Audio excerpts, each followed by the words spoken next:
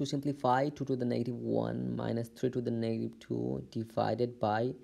2 to the negative 2 plus 3 to the negative 1 let's first change these negative exponents into positive using the rule of negative exponents according to which we'll get 1 over 2 to the 1 is 2 minus 1 over 3 squared is 9 divided by 1 over 2 squared is 4 plus 1 over 3 to the first power is 3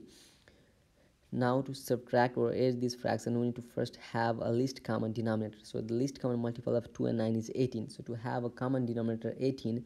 we need to multiply both the top and bottom of the first fraction by 9 and the se second fraction by 2 similarly the least common multiple of 4 and 3 is 12 so to have a common denominator 12 we need to multiply both the top and bottom of the first fraction by 3 and the second fraction by 4 which gives us 9 over 18 minus 2 over 18 divided by 3 over 12 plus 4 over 12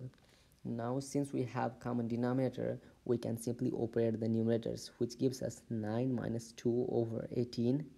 divided by 3 plus 4 over 12